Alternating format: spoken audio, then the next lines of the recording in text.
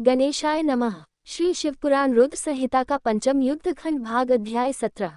दम्भ की तपस्या और विष्णु द्वारा उसे पुत्र प्राप्ति का वरदान शंखचूट का जन्म तप और उसे वर प्राप्ति ब्रह्मा जी की आज्ञा से उसका पुष्कर में तुलसी के पास आना और उसके साथ वार्तालाप ब्रह्मा जी का पुनः वहाँ प्रकट होकर दोनों को आशीर्वाद देना और शंखचूट का गांधर्व विवाह की विधि से तुलसी का पानी ग्रहण करना। तदनंतर जलंधर की उत्पत्ति से लेकर उसके वध तक का प्रसंग सुनाकर सनत कुमार जी ने कहा, मुने अब शंभु का दूसरा चरित्र प्रेम पूर्वक श्रवण करो। उसके सुनने मात्र से शिव भक्ति सुदृढ़ हो जाती है। व्यास जी शंखचूड नामक एक महावीर दानव था, जो देवों के लिए कंठ का स्वरूप था। उसे शिवजी ने रंग के मुहाने पर त्रिशूल से मार डाला था। शिवजी का वह दिव्य चरित्र परम पावन तथा पापनाशक है। तुम पर अधिक स्नेह होने के कारण मैं उसका वर्णन करता हूँ। तुम प्रेमपूर्वक उसे श्रवण करो। ब्रह्मा के पुत्र जो महर्षि मरीची थे, उनके पुत्र कश्यप हुए। ये मननशील, धर्मिष्ठ, सृष्टिकर्ता, विद्यासंपन्न तथा प्रजापति थे। दक्ष ने प्रसन्न होकर अपनी तेरह कन्याओं का विवाह इनके साथ कर दिया। उनकी संतानों का इतना अधिक विस्तार हुआ कि उसका पत्नियों में एक का नाम दनु था। वह श्रेष्ठ, सुंदरी तथा महारूपवती थी। उस साध्वी का सौभाग्य बड़ा हुआ था मुने। उस दनु के बहुत से महाबली पुत्र उत्पन्न हुए। विस्तार भय से उनके नाम नहीं गिनाए जा रहे हैं। उनमें एक का नाम विप्रचित्ति था, जो महान बल पराक्रम से संपन्न था। उसका पुत्र दम्भ हुआ, जो जितेंद्रिय, धार्मिक तथा विष्णुभक्त था। जब उसके कोई पुत्र नहीं हुआ, तब उस वीर को चिंता व्याप्त हो गई। उसने शुक्राचार्य को गुरु बनाकर उनसे श्री कृष्ण मंत्र प्राप्त किया और पुष्कर में जाकर घोर तप करना आरंभ किया। वहाँ सुदृढ़ आसन लगाकर कृष्ण मंत्र का जप करते हुए उसके एक लाख वर्ष बीत गए। उस तपस्वी के मस्तक से एक जाज्वल्यमान तेज निकलकर सर्वत्र व्याप्त हो गया। वह तेज इतना दुसर था कि उससे संपूर्ण देवता मुनि तथा मनु संतप्त हो उठे। तब वे इंद्र को अगुआ बनाकर ब्रह्मा के शरणापन हुए। वहाँ उन्होंने संपूर्ण संपत्तियों के दाता विधाता को प्रणाम करके उनकी स्तुति की और फिर विशेष रूप से व्याकुल होकर अपना सारा वृतांत उनसे कह सुनाया। उनकी बात सुनकर विष्णु को सुनाने के लिए वैकुंठ को चले। वहाँ पहुंचकर सब लोगों ने त्रिलोकी के अधीश्वर तथा रक्षक परमात्मा विष्णु को विनीत भाव से प्रणाम किया और फिर हाथ जोड़कर उनकी स्तुति करने लगे। देवता बोले, देव देव। हमें पता नहीं कि यहाँ कौन सा कारण उत्पन्न हो गया है। हम किसके तेज से संतप्त हो उठे हैं, यह आप ही बतलाइए। दीन बंध हो अपने दुखी सेवकों के रक्षक तो आप ही हैं, अतः शरणदाता। रमानाथ, हम शरणागतों की रक्षा कीजिए रक्षा कीजिए। सनत कुमार जी कहते हैं मुँह ने, ब्रह्मा आदि देवताओं के वचन को सुनकर शरणागत वत्सल भगवान विष्णु मुस्कुराए और प्रेमपूर्वक बोले। विष्णु ने कहा, अमरो, शांत रहो, घबराओ मत, भयभीत न हुओ। कोई उलट पलट नहीं होगा, क्योंकि अभी प्रलय का समय नहीं आया है। ये तेज तो दम्भ नामक दानव का है, जो मेरा भक्त है और पुत्र की कामना से तप कर रहा है। मैं उसे वरदान देकर शांत कर दूँगा। सनत कुमार जी कहते हैं मुँह ने भगवान विष्णु के यो कहने पर ब्रह्मा आदि देवताओं की व्यग्रता जाती रही, वे सभी धैर्य धारण करके अपने अपने धाम को लौट गए। इधर भगवान अच्युत भी वर प्रदान करने के लिए पुष्कर को चल पड़े, जहाँ वह दम्भ नामक दानव तप कर रहा था।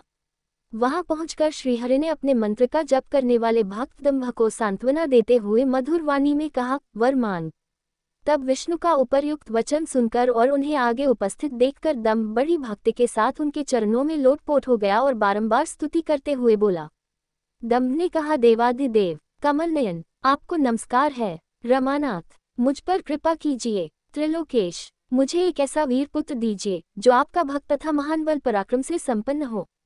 वह त्रिलोकी को जीत ले, परंतु देवता उसे पराजित न कर सके। सनत कुमार जी कहते हैं, मुँह ने, दानवराज दम्भ के यूँ कहने पर श्रीहरि ने उसे वह वर दे दिया और उस घोर तप से उसे निवृत्त करके स्वयं अंतर्धान हो गए। दानवेंद्र दम्भ की तपस्या सिद्ध हो चुकी थी, जिससे उसका मनोरथ पूर्ण हो गया था, अतः वह भी श्रीहरि के चले जाने पर उस दिशा को नमस्कार करके अपने घर को लौट गया। थोड़े ही समय के उपरांत उसकी भाग्यवती पत्नी गर्भवती हो गई। वह अपने तेज से घर के भीतरी भाग को प्रकाशित करती हुई शोभा पाने लगी। मुँह ने श्री कृष्ण के पार्षदों का अग्रणी जो सुदामा नामक गोप था, जिसे राधा जी ने शाप दे दिया था, वही उसके गर्भ में प्रविष्ट हुआ था। तदनंतर समय आने पर साध्वी दम पत्नी ने एक तेजस्वी बालक को जन्म दिया। तब पिता ने बहुत से मुनीश्वरों को बुलाकर उसका विधिपूर्वक जातकर्म आदि संस्कार संपन्न किया। द्विजोतम उस पुत्र के उत्पन्न होने पर बहुत बड़ा उत्सव मनाया गया। फिर शुभ दिन आने पर पिता ने उस बालक का शंखचूड ऐसा नामकरण किया। वह अपने पिता के घर में शुक्ल पक्ष के चंद्रमा की भांति बढ़ने लगा। वह अत्यंत तेजस्वी था, अतः उसने बचपन में ही सारी विद्याएँ सीख ली। वह नित्य बाल क्रीड़ा करके अपने माता पिता का हर्ष बढ़ाने लगा और अपने समस्त कुटुंबियों का तो वह विशेष रूप से प्रेम भाजन हो गया। तदनंतर जब शंखचूड़ बड़ा हुआ तब वह जैगीश्वर मुनि के उपदेश से पुष्कर में जाकर ब्रह्मा जी को प्रसन्न करने के लिए भक्तिपूर्वक तपस्या करने लगा। उस समय वह एकाग्रमन हो अपनी इंद्रियों को काबू में करके गुरुपदिष्ट ब्रह्मविद्या का जप करता रहा। यो पुष्कर में तपस्या करते हुए दानवराज शंखचूट को वर देने के लिए लोकुरु एवं ऐश्वर्यशाली ब्रह्मा शीघ्र ही वहाँ पधारे और उस दानवेंद्र से बोले, वर मान। ब्रह्मा जी को देखकर उसने अत्यंत नम्रता से उन्हें अभिवादन किया और फिर उत्तम वाणी से उनकी स्तुति की। तत्पश्चात उसने ब्रह्मा से वर मानते हुए कहा, भगवान, मैं देवताओं के लिए अजय हो जाऊँ। तब ब्रह्मा जी परम प्रसन्न होकर बोले, तथास्तु ऐसा ही होगा। फिर उन्होंने शंखचूट को वह दिव्य श्रीकृष्ण कवच प्रदान किया, जो जगत के संपूर्ण मंगलों का भी मंगल और सर्वत्र विजय प्रदान करने वाला है। तदनंतर ब्रह्मा जी ने उसे आज्ञा दी कि, तुम बदरीवन को जाओ। वही धर्मध्वज की कन्या तुलसी सकाम भाव से तपस्या कर रही है। तुम उसके साथ विवाह कर लो। सामने ही तुरंत अंतर्धान हो गए तब तक सिद्ध शंखचू ने भी, जिसके सारे मनोरथ तपोबल से पूर्ण हो चुके थे और मुख पर प्रसन्नता खेल रही थी पुष्कर में ही उस जगत के मंगलों के भी मंगल स्वरूप कवच को गले में बाँध लिया और ब्रह्मा के आज्ञानुसार वह तत्काल ही बदरिकाश्रम को चल पड़ा। वहाँ दानव शंखचूत सहसा उस स्थान पर जा पहुँचा जहाँ धर्मध्वज की पुत्री तुलसी तप कर रही थी। सुंदरी तुलसी का रूप अत्यंत कमनीय और मनोहर था, वह उत्तम शील से संपन्न थी।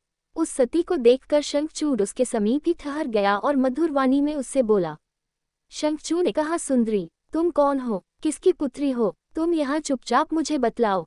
सनत कुमार जी कहते हैं, मुँह ने। शंखचू के इस सकौम वचन सुनकर तुलसी ने उससे कहा, तुलसी बोली, मैं धर्मध्वज की तपस्विनी कन्या हूँ और यहाँ तपोवन में तप कर रही हूँ।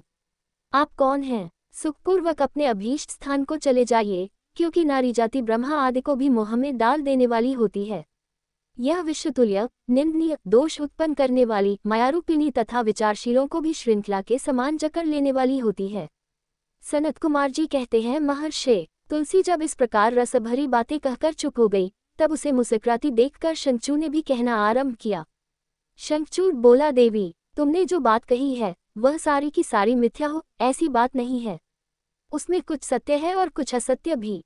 इसका विवरण मुझसे सुनो शोभ ने जगत में जितनी पतिव्रता नारियाँ हैं, उनमें तुम अग्रणी हो। मेरा तो ऐसा विचार है कि जैसे मैं पाप बुद्धि कामी नहीं हूँ, उसी प्रकार तुम भी कामप्राधीना नहीं हो। फिर भी इस समय मैं ब्रह्मा जी की आज्ञा से तुम्हारे सभी पाया हूँ और गांधर्व विवाह की विधि से तुम्हें ग्रहण करूँगा। भद्रे, क्या तुम मुझे नहीं जानती हो अथवा तुमने कभी मेरा नाम भी नहीं सुना है? अरे, देवताओं में भगदड़ डालने वाला शंखचूड मैं ही हूँ। मैं दनु का वंशज तथा दम्भ नामक दानव का पुत्र हूँ। पूर्व काल में मैं श्रीहरि का पार्षद था। मेरा नाम सुदामा गोप था। इस समय मैं राधिका जी के शाप से दानवराज शंखचूड होकर उत्पन्न हुआ हूँ। ये सारी बातें मुझे ज्ञात हैं, क्योंकि श्री कृष्ण के प्रभाव से मुझे अपने पूर्व जन्म का स्मरण बना हुआ है। सनत कुमार जी कहते हैं, मुँह ने तुलसी के समक्षियों कहकर शंखचूड चुप हो गया। जब दानवराज ने आदरपूर्वक तुलसी से ऐसा और मुस्कुरा कर कहने लगी, तुलसी बोली, भद्र पुरुष आज आपने अपने सात्विक विचार से मुझे पराजित कर दिया है। जो पुरुष स्त्री द्वारा परास्त न हो सके, वह संसार में धन्यवाद का पात्र है, क्योंकि जिसे स्त्री जीत लेती है, वह पुरुष सदाचारी होते भी सदा पावन बना। रहता है। देवता, पितर और समस्त मानव उसकी निंदा करते हैं। जन्ना शौच तथा मरना शौच में ब्राह्मण दस दिनों में, क्षत्रिय बारह दिनों में और वैश्य पंद्रह दिनों में शुद्ध हो जाता है तथा शूद्र की शुद्धि एक मास में हो जाती है, ऐसा वेद का अनुशासन है। परंतु स्त्री से पराजित हुए पुरुष की शुद्धि चितादाह के अतिरिक्त अन्य किसी प्रकार से संभव ही नहीं है। इसी कारण उसके पितर उसके द्वारा दिए गए पिंड तर्पण आदि को इच्छापूर्वक ग्रहण नहीं करते तथा देवता भी उसके द्वारा अर्पित किए गए पुष्प फल आदि को स्वीकार नहीं करते, जिसका मन स्त्रियों द्वारा आहत हो जाता है। उसके ज्ञान, उत्तम तप, जप, होम, पूजन, विद्या और दान से क्या लाभ? अर्थात उसके ये सभी निष्फल हो जाते हैं। मैंने आपकी विद्या प्रभाव और ज्ञान की जानकारी के लिए ही आपकी परीक्षा ली है, क्योंकि कामिनी को चाहिए कि वह अपने मनोनीत कांत की परीक्षा करके ही उसे पति रूप से वरण करे। सनत कुमार जी कहते हैं, व्यास जी, जिस समय तुलसी यो वार्तालाप कर रही थी, उसी समय सृष्टिकर्ता ब्रह्मा वहाँ आ पहुँचे और इस प्रकार कहने लगे। ब्रह्मा जी ने कहा शंखचूड तुम इसके साथ क्या व्यर्थ में वाद विवाद कर रहे हो? तुम गांधर्व विवाह की विधि से इसका पानी ग्रहण करो क्योंकि निश्चय ही तुम पुरुषरत्न हो और यह सती साध्वी नारियों में रत्न स्वरूपा है।